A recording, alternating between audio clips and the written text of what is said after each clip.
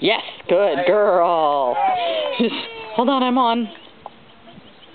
I'm busy. Just keep going with her. We'll leave that one there. She can go back and get it later.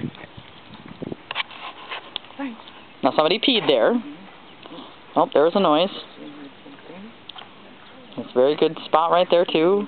I think she did.